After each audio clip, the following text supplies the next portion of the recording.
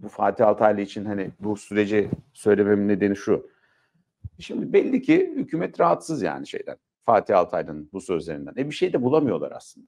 Yani gazetecilik Fatih Altaylı'nın görüşlerini beğenmeyebilirsiniz. Yanlış bulabilirsiniz. Değerlendirmelerini farklı görebilirsiniz. Ama gazetecilik suç değildir. Herkesi tutuklayarak hizaya sokamazsınız. Bence Fatih Altaylı da hak etmediği bir baskıyla şu anda karşılaşıyor. YouTube'da e, ki programları da çok izleniyor, çok e, takip ediliyor. Ben de bakıyorum ara sıra.